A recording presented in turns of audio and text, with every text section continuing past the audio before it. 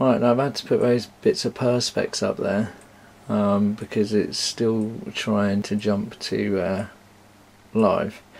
So basically what I'm going to end up having to do is put a shield in. I'll just make a little perspex box to go over the top of the uh, input terminals, but just what you might want to see it. This is ballasted 250 watts only and there is roughly uh, about six inch six inch gap maybe. Right, let's go. It's loud. Watch your headphones. As you notice, it's not actually going to the second part of Jacob's ladder. It's actually going straight to the uh, post.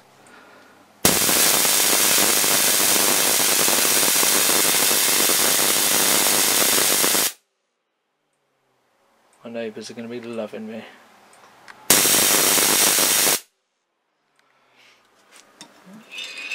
Should probably give you tell you what voltage that's at. That's at 50.